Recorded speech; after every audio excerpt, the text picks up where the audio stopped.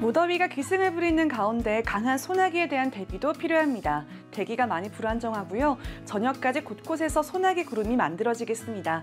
적게는 5mm, 많게는 40mm로 지역별로 강수량 차이가 크겠고요. 돌풍과 벼락을 동반해서 요란하게 쏟아지겠습니다.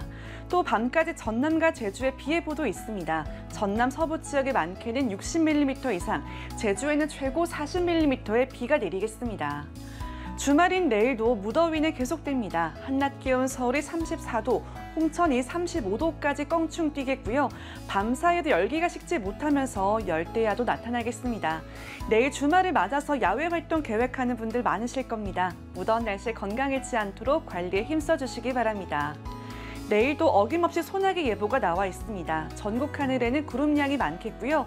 오후부터 저녁 사이 대부분 지역에서는 갑작스럽게 소나기가 쏟아지겠습니다.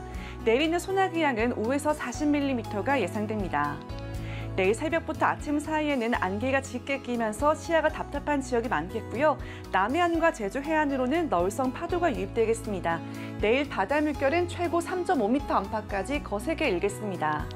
다가오는 일요일도 곳곳에 소나기가 내리겠고요. 푹푹 찌는 찜통 더위는 계속될 것으로 전망됩니다. 지금까지 날씨 전해드렸습니다.